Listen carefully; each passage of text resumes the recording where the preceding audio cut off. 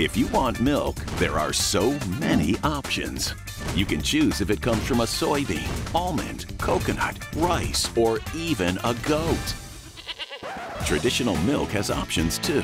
There's whole, skim, organic, and lactose free. And we Americans drink a lot of it. Approximately 96 billion glasses of dairy milk a year. We're drinking a lot of milk. Yes, we right? are. But with all the choices out there, you may wonder which one is right for you. Start by checking the nutrition label to see what the milk contains. You may be surprised at how different the nutrition stacks up. Just because it looks healthy doesn't mean it is. Different types of milk and non-dairy milk have varying degrees of calories, fat, sugar, calcium, and protein. So then ask yourself, what are you trying to accomplish? If you want to slim down, you want to choose a milk with less sugar and lower calorie counts. Some people need more calcium, while others are interested in the amount of protein that they're adding to their diet. You know, dairy milk is a significant source of protein and is often fortified with vitamins D, A, and B, which helps convert food into energy. And we have somebody joining us who says she's figured out how to make dairy milk even more nutritious. I'm talking about dairy farmer and Fairlife Milk co-founder Sue McCloskey. Welcome. So Sue, how did you do all this?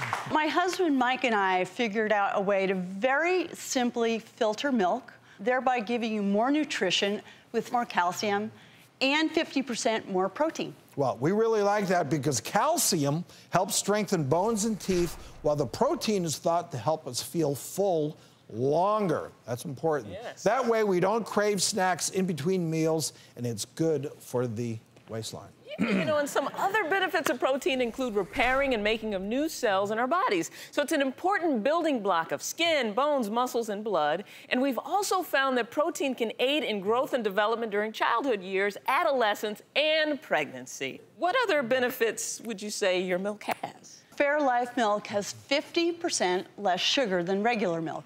A lot of people don't understand that milk naturally has sugar in it, and that sugar is called lactose. We are able to filter out a lot of that lactose, convert the remaining, thereby making it also a lactose-free product. Because lactose can cause digestive discomfort. Sue, what inspired you and your husband to do this?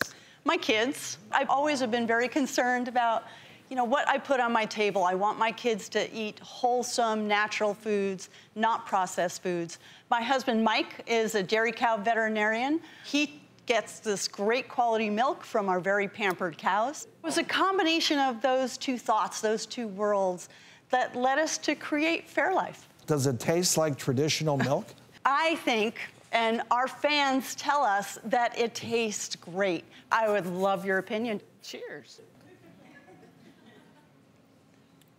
Mmm, it's really good. Wow. This is really good. So the cows are kind of like your family too. You've got a family, then you've got cows. I'm just imagining this really happy place. We're just a big happy place. Well, thank you, Sue. Really a great product, tastes good and so good for you.